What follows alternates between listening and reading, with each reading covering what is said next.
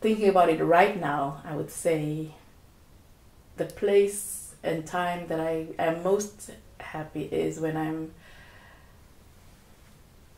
watching a thunderstorm in the dark with my eight year old niece, playing swords with my other niece. The one's called the news junkie and the other one's called the fashionista.